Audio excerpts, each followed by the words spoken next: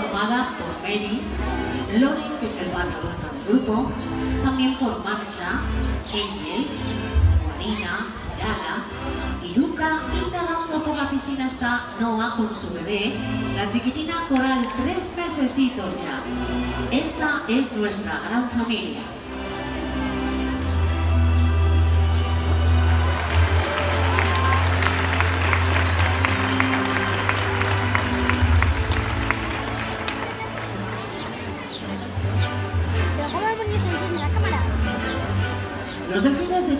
Especies viven en grupos. Unos viven en grandes manadas como el delfín común y otros en grupos más reducidos como el delfín polar, pero todos son animales sociales que necesitan relacionarse, desplazarse y les encanta saltar en grupo.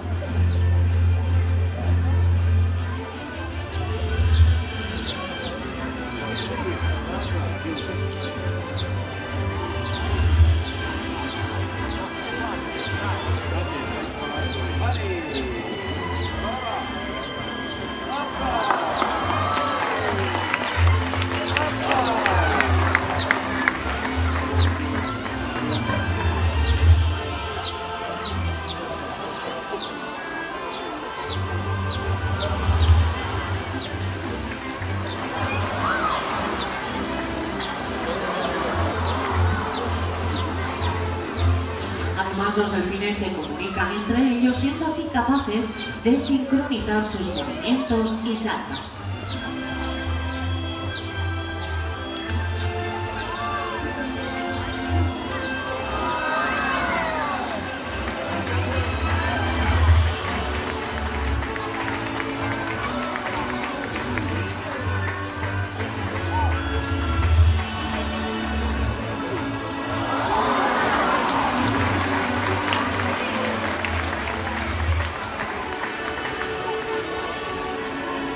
A continuación os vamos a contar las características más importantes de los delfines, veréis.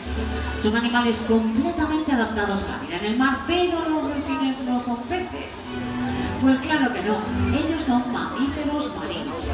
Además, respiran aire como nosotros a través de sus pulmones, a diferencia de los peces que consiguen el oxígeno filtrando el agua con sus branquias. Curiosidad que diferencia a peces de cetáceos es el movimiento de su aleta caudal. Mientras los peces la mueven de izquierda a derecha, como por ejemplo los tiburones, los delfines lo hacen así, de arriba hacia abajo. El movimiento de esta aleta les permite alcanzar velocidades de hasta 40 kilómetros por hora. La aleta dorsal es la que tienen sobre la espalda, os la enseñan ahora mismo. Así. Esta aleta actúa a modo de estabilizador y les permite mantener el equilibrio cuando nadan esas grandes velocidades.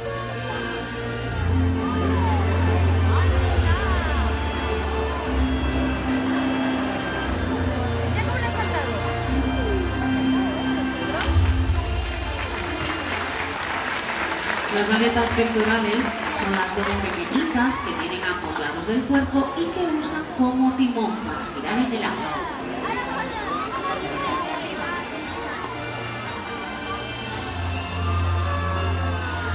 Los ojos de los delfines están adaptados para ver igual dentro y fuera del agua, aunque el sentido más importante que usan en las profundidades del mar es el de la ecolocalización. Se trata de un sonar biológico con el que son capaces de formarse imágenes a partir del eco de ultrasonidos que emiten. Pueden ver literalmente en total oscuridad. Detrás de los ojos están los oídos, pequeños orificios que solo se ven a muy corta distancia. El espiráculo, el agujero que vemos sobre la cabeza del delfín, es en realidad su nariz, que se ha trasladado con la evolución hacia arriba para poder respirar con mayor eficacia en la superficie del agua. Es por donde respiran y vocalizan los delfines y ballenas. Vamos a guardar todos un poquitito de silencio para escuchar cómo vocalizan nuestros amigos.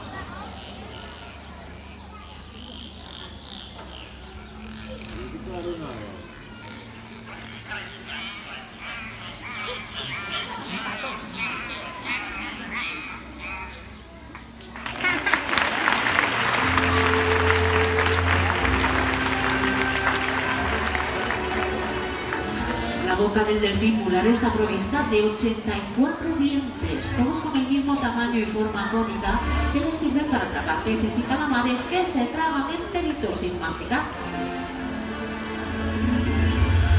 Para el equipo de mamíferos marinos del zoo es de vital importancia conseguir que los animales colaboren en su propio cuidado y de forma voluntaria. Así conseguimos extraer sangre de la aleta caudal para analizarla más tarde, igual que pasar ecógrafos y hacer otro tipo de pruebas veterinarias. De esta forma conseguimos, entre otras muchas cosas, que la expectativa de vida de los delfines supere los 40 años. Como es el caso de una de nuestras hembras, Angel, aquí la tenéis, que ya ha cumplido 49 añazos y estupenda.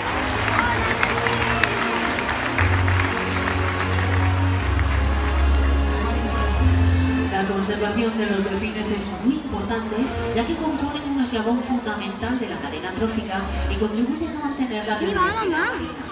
Las principales amenazas que afectan a las poblaciones de cetáceos son la pesca excesiva, la contaminación, las capturas accidentales, la degradación dinámica y el calentamiento global.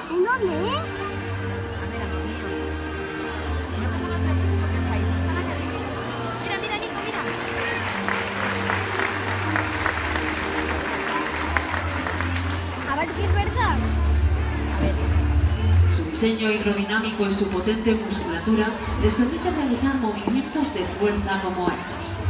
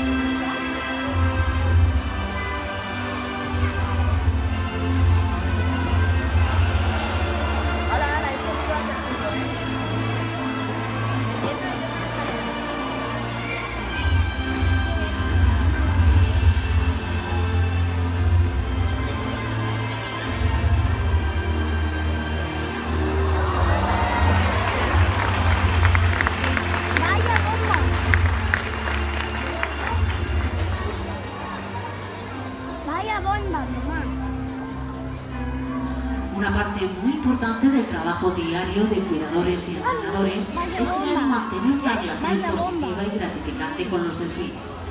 De esta forma, se establece un vínculo mutuo de confianza y cariño.